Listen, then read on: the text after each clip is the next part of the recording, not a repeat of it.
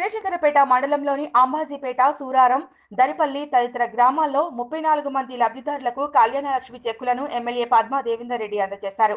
కళ్యాణలక్ష్మి కార్యక్రమానికి విచ్చేసిన ఎమ్మెల్యే పద్మా దేవేందర్ రెడ్డి మెదక్ రహదారిపై ట్రాక్టర్లు మొక్కలను తీసుకెళ్తూ ఎక్కువ మంది కనిపించడంతో ఆ ట్రాక్టర్ను ఆపి డ్రైవర్ను అందులో ఉన్న జనాలపై ఆగ్రహం వ్యక్తం చేశారు.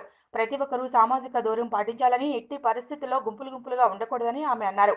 అనంతరం ముఖ్యమంత్రి కేసీఆర్ పేద ప్రజలకు ఎన్నో సంక్షేమ పథకాలు ప్రవేశపెట్టడం జరిగిందని కేంద్ర రాష్ట్ర ప్రభుత్వాలు లాక్డౌన్ ప్రకటించిన సందర్భంగా ప్రజలు గుంపులు గుంపులుగా ఉండకూడదనే ఉద్దేశంతో గ్రామ లబ్ధిదారులకు ఆ గ్రామంలో తన ఇంటి వద్దకు తీసుకువెళ్ళి మండల అధికారులతో పాటు ఎంపీపీ జెడ్పీటీసీ వెళ్ళి ఇవ్వాలని ఆమె తెలిపారు. ప్రభుత్వం లాక్డౌన్ ప్రకటించిన సందర్భంగా ప్రతి ఒక్కరూ మాస్కులు ధరించి బయటకు రావాలని అనవసరంగా రోడ్లపై తిరగకూడదని ఆమె తెలిపారు. కళ్యాణలక్ష్మి పేద ప్రజలకు ఒక వరం లాంటిదని ఒక్కో లబ్ధిదారునికి లక్ష నూట పదహారు రూపాయలు అందించడం జరుగుతోందని లబ్ధిదారులు ఈ అవకాశాన్ని వినియోగించుకోవాలని ఆమె కోరారు. ఈ కార్యక్రమంలో MPDO Lakshmanamurthy tahsildar Rajeswararao ZPTC Madhaviraju MPP Avula Bhagyalakshmi వివిధ గ్రామాల సర్పంచులు ఎంపీటీసీలు టీఆర్ఎస్ పార్టీ నాయకులు సత్యనారాయణ సాయిలు రామకృష్ణ టీఆర్ఎస్ మండల అధ్యక్షుడు రాజు బండారు స్వామి తదితరులు పాల్గొన్నారు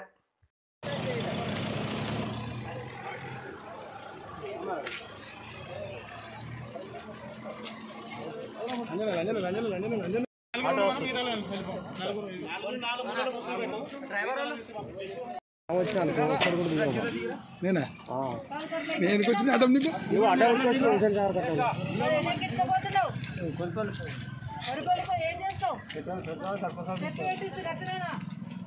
మందిని ఒక్కసారి చూడాలి. నర్సరీ నుండా దూరం దూరం ఉండాలి కదమ్మా. ఒక్కసారి గట్ల ఎక్కొస్తే ఎట్లా? వచ్చిన రోగమైంది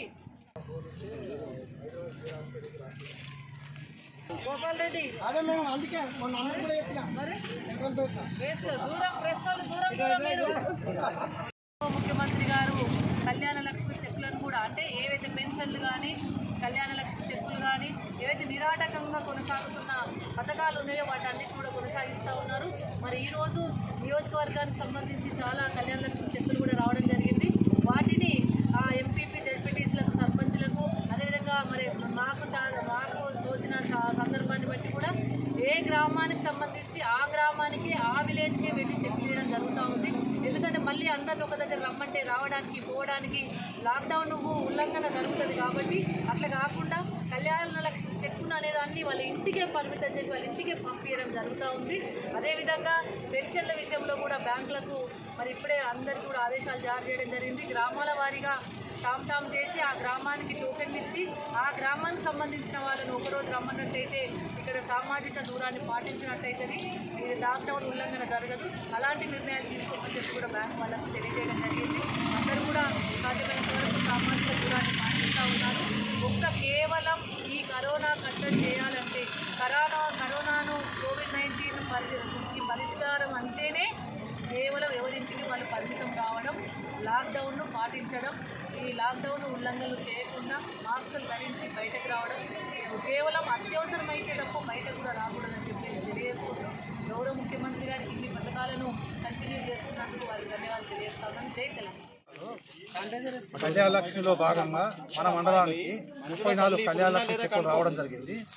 ఇవి అన్ని కూడా ఎస్సీ ఎస్టీస్ మైనార్టీకి సంబంధించిన ఇద్దరు ఎస్సీలకు వచ్చినాయి. ఒక ముప్పై ఎస్టీలకు వచ్చినాయి. రెండు మైనార్టీస్కి వచ్చినాయి. మన గౌరవ ఎమ్మెల్యే గారి చేతుల మీదుగా ఈరోజు పంపిణీ కార్యక్రమం చేయడం జరుగుతుంది. చేయడం జరిగింది. ఇంకా మిగిలిన వాటిని స్థానిక ఎంపీపీ గారు స్థానిక జడ్పీటీసీ గారు నేను స్థానిక ఎంపీడీఓ గారు కలిసి వాళ్ళ ఇంటింటికి వెళ్ళి పంచడం జరుగుతుంది.